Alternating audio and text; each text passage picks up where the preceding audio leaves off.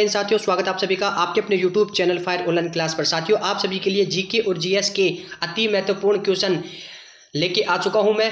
आपके एग्ज़ाम भी स्टार्ट हो चुके हैं। जिस स्टूडेंट के अभी तक एग्ज़ाम नहीं हुए हैं तो यह क्लास को देखिए। आप सभी के लिए, आप सभी के लिए इंपॉर्टेंट क्वेश्चन यहाँ पर रहने वाले हैं। तो क्लास को शुरू करने से पहले आप सभी से छोटी सी रिक्वेस्ट है वीडियो को लाइक शेयर और चैनल को सब्सक्राइब ज़रूर करना।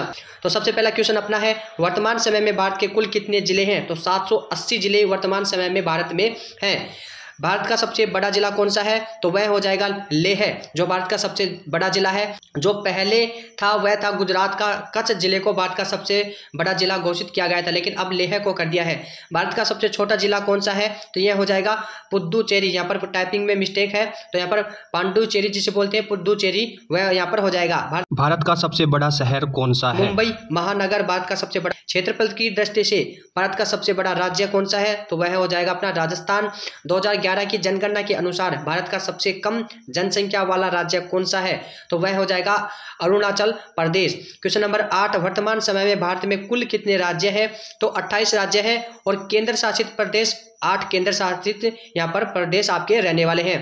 क्वेश्चन नंबर नाइन भारत नाम की उत्पत्ति का संबंध प्राचीन काल किस प्रतापी राजा से है? तो वह हो जाएगा आपका भरत चक्रवर्ती राजा था।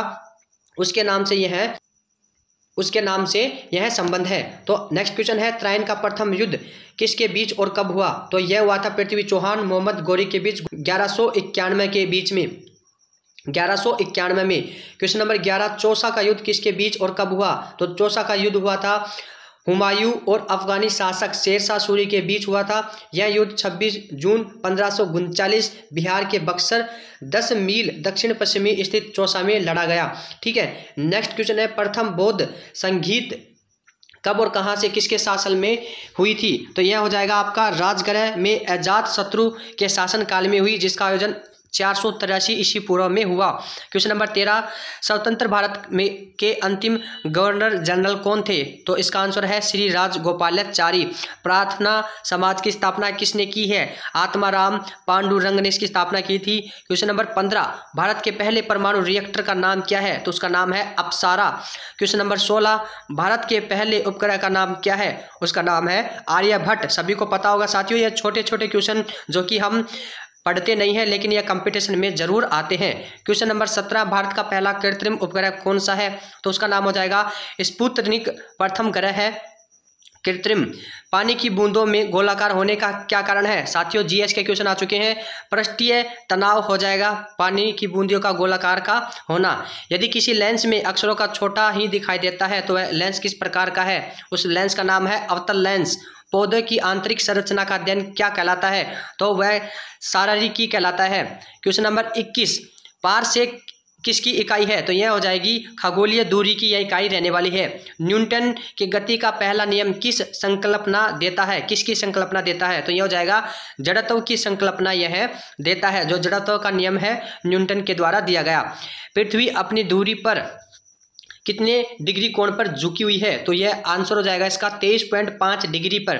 पृथ्वी अपनी दूरी मतलब अपने जो कोण है, वह किस दिशा में घूमती है? तो पृथ्वी घूमती है पश्चिम से पूर्व दिशा में।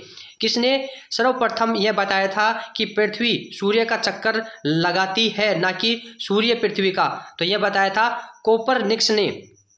क्वेश्चन नंबर छब्बीस, नीति आयोग अस्तित्व में कब आया? तो यह आया था एक जनवरी 2015 को। क्वेश्चन नंबर सत्ताईस, मनुष्य में कौन सा विटामिन ए की कमी से पैराग्रा का रोग होता है? तो विटामिन बी थ्री की कमी से।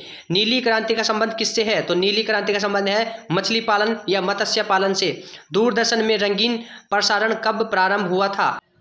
उन्नीस सौ बयासी क्वेश्चन नंबर तीस, जो लास्ट क्वेश्चन रहने वाला है इस क्लास का पनामा नहर किन दो शहर, महासागरों को जोड़ती है। तो यह जोड़ती है प्रशांत महासागर और अंटार्कटिक महासागर को। साथियों, ये आपके मोस्ट इंपोर्टेंट क्वेश्चन थे। नेक्स्ट क्लास भी जल्दी आने वाली है तो वीडियो पर लाइक शेयर चैनल पर एक्टिव ज़रूर रहना। क्लास आपकी कंटिन्यू आने वाली है। मिलते हैं नेक्स्ट क्लास में। जय हिंद, वंदे